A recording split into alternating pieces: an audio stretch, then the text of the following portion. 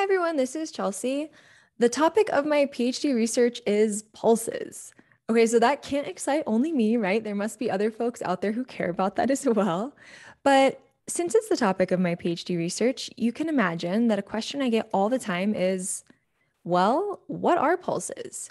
So I thought I'd do a real quick video to just explain what they are.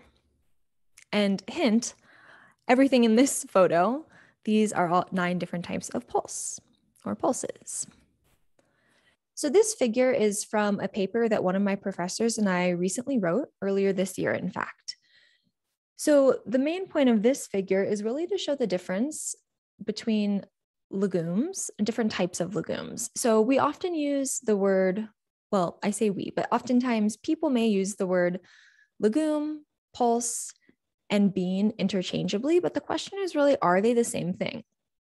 And also, to be honest, a lot of people don't even use the word pulse. It kind of depends on where in the world you are and everything. Some countries use this term more often.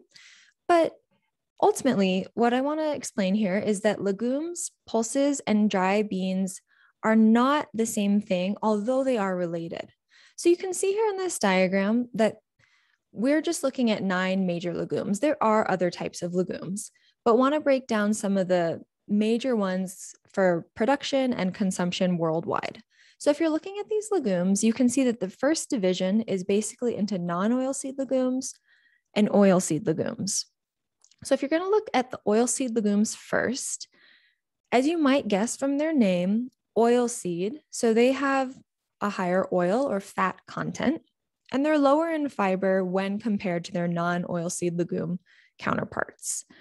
So keep listening, right? Because this is how you're going to impress all your friends at dinner. You know that, right? Yes.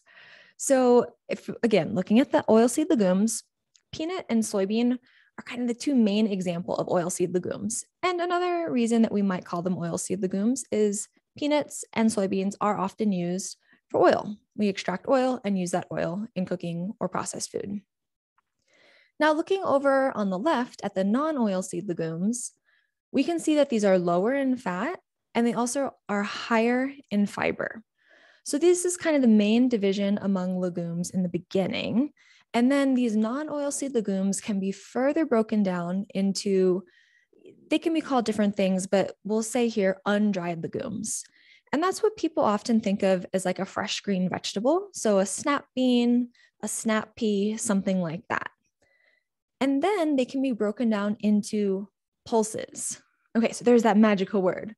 So pulses are, well, they actually have a very specific definition, but they are the dried, mature seeds of non oilseed legumes. And that is a fun mouthful, right? But basically, what that means is they're dried. So, as opposed to the undried legumes, they're going to be dried, which makes them really great for storage, which has great implications for preventing food waste. They can last in your pantry a long time. It's good for food security. And then mature seeds, so the plant it goes all the way all the way to maturation. They dry in the field and then they're harvested. And as they are non-oil seed legumes, they have really low fat content and they're incredibly high in fiber. In fact, they're one of the richest natural sources of dietary fiber, period.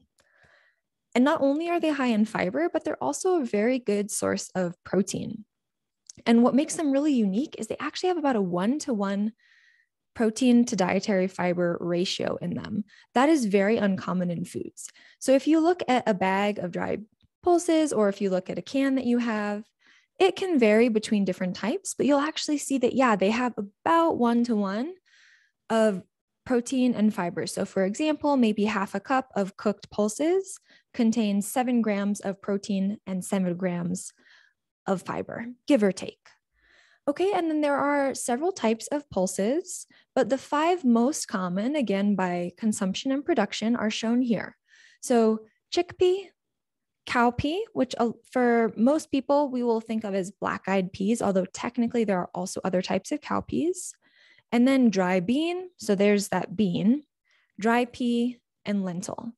And dry bean, that's where all the beans like pinto bean, black bean, kidney bean, all those beans are falling in there. So you can see that, yeah, these are related, but legume, pulse, and bean are all a little bit different. Okay. And oh, fun fact while we're here, let's say we're looking at pinto beans or whatever pulse you want to look at. They're not all the same. So just because you're buying pinto beans or something, there are different varieties of pinto beans, lots of different varieties that breeders grow and that farmers grow. And so, you know, even more excitement there. We can go address that later. But anyway, that's a brief summary. I hope you enjoyed it and have a lovely day. Thanks.